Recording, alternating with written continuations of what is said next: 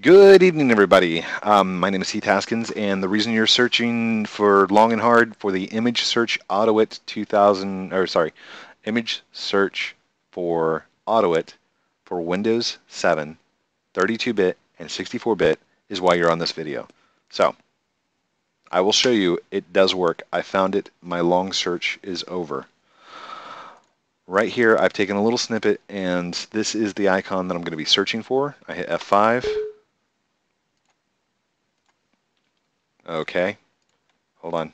Oh, require admin. Take that out. F5. Found it. F5. Found it.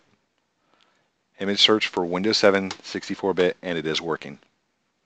Found it. Perfect. Okay. So, what you're going to need, and where I found this, on the forums themselves, um, image search usage and explanation.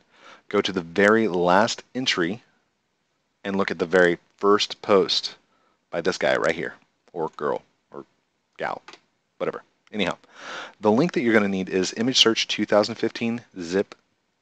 It's going to contain these files. Credit for this goes to Centrally, Centrally, to Ken King, and to Miguel7. Thank you guys so much for actually posting this and actually getting it to work because it's been so long. Um, five years I've been searching for this and it finally works. So when you first get it, uh, let me go to my documents.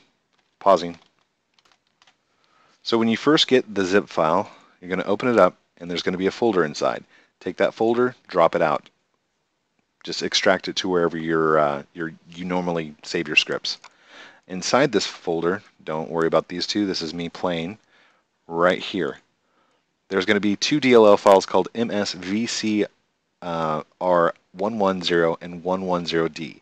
This is your uh, Microsoft Microsoft Visual C resources, and they're going to be needed for um, the DLL calls. Next is the image search DLL X32 and the image search DLL x64. These are what actually gets called to do the image searches on your desktop. The file that you need is image search 2015.au3. I'll show you what it looks like here, and I'll show you what you need to do. Before you do anything, go ahead and do require admin up here at the top. All right, the reason you want to do this is because you're going to run this one time and then it's going to pop up and ask you, do you want to allow this program to make changes to your computer? The answer is going to be yes, because you, are going to need these four files installed, the image search 32, 64, and both of those um, Visual C resources, DLLs. Once that's done, you can go ahead and take that back out, and right down here on line 16-ish, there's going to be local b testing equals false.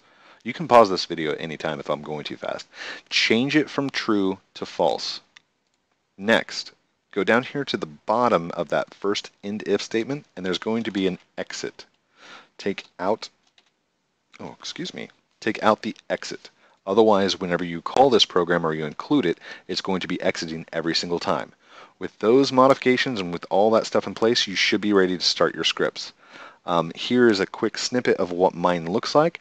Um, to take a snip image, go to Start, type out snip, and you're going to get your little snipping tool.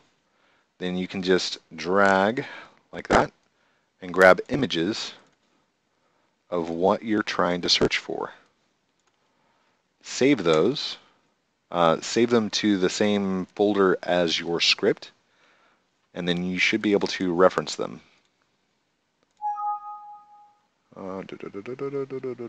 What is this? Do you want to save changes? No, I don't want to save changes.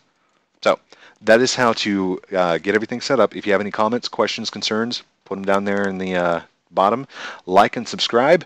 Uh, I'm going to be making a lot more videos on how to use the image search. I'm also going to be answering any kind of questions that you have. Um, if you need help getting it to work, I will follow through with you guys and try and help you out the best you best I can, to the best of my abilities. Thank you so much for watching. Talk to you later. Bye.